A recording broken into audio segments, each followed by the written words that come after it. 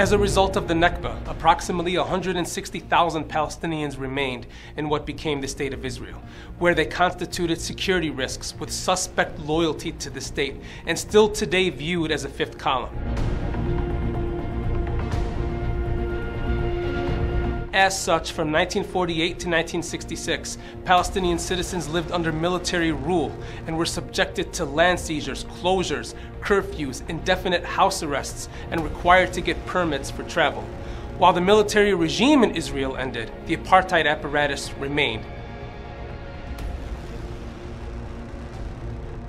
Treated as second class citizens and viewed as a demographic threat.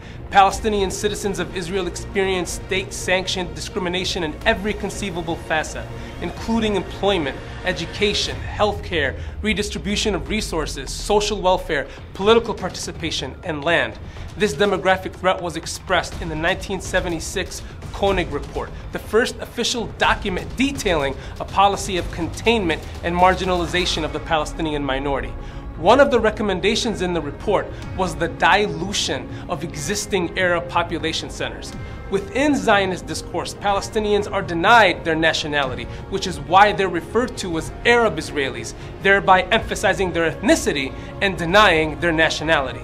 In order to maintain Jewish racial supremacy, Israel makes a distinction between nationality and citizenship.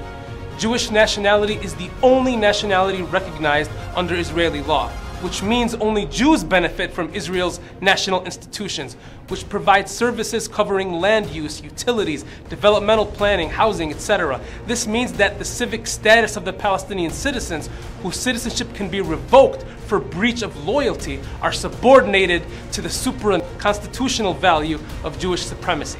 Palestinian citizens are 20% of the population, but only own 3% of the land, while 93% is either owned by the state or its parastatal organizations, such as the Jewish National Fund, whose constitution stipulates that land acquired may not be sold to any non Jew. The JNF expounded on this principle by stating that loyalty is given to the Jewish people and only to them, and does not have a duty to practice equality towards all of its citizens.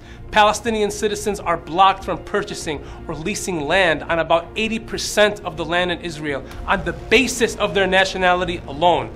The Jewish trajectory of Israel's identity has become more pronounced recently in the form of a basic law titled the Nation State of the Jewish People.